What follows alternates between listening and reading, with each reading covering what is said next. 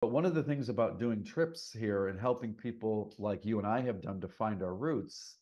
And do you know that this is the this is the year of tourism, for roots tourism? You Yes, know. yes, I do. Yeah, yeah. yeah. Good.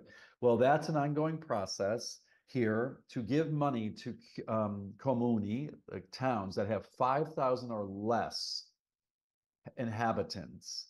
They can apply for maximum of a 6,000 euro, you want to call it, uh, fund uh, to throw on an event for either private groups or public to attract people to come to these borghi, B-O-R- B-O-R-G-H-I, Borgo, is a small village. They don't usually say villaggio, they say borgo or um, paese with a small p or paesello, something like that. Not usually villaggio. Uh, and so it's been interesting because when I bring the travelers there, Bob, it's just interesting to see how they relax.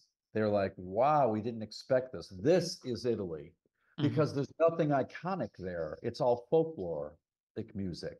It's all farm to table, no matter where you eat, even in a restaurant. Um, there's something about the Italian ness of that place that resonates. That if you look at the reviews that are subjective Google reviews, most of them have nothing to do with Rome and Venice and other places I brought them.